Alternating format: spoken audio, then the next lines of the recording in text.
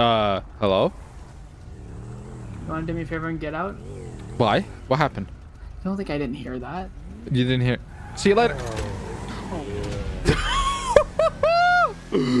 All right, we're in it, boys.